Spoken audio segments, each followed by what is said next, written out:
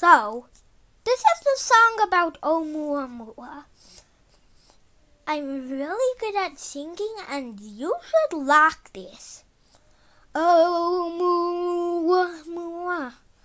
It is a comet and it's awesome.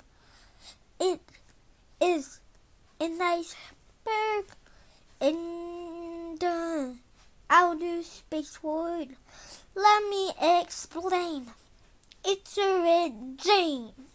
It is what everyone's talking about. It's sort of a trend. First, it got part of a firmed, destroyed planet. Then it got too close to a gas giant. Three, it got ejected away and now it's exploring outer space, hopefully to find a new star to orbit someday. It is Oumuamua. Mua. Spelled O U M U A M U A. It is hip hip hooray. Oumuamua, Oumuamua, Oumuamua, Oumuamua, Oumuamua,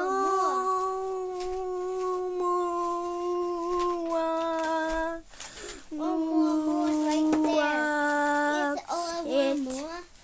It's very long in this song. It has a reddish color. I couldn't be better. It is maroony gray.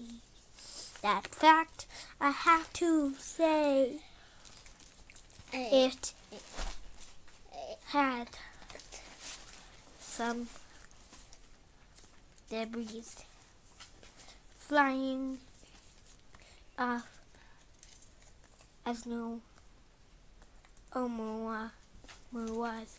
Oumuamua It is very awesome.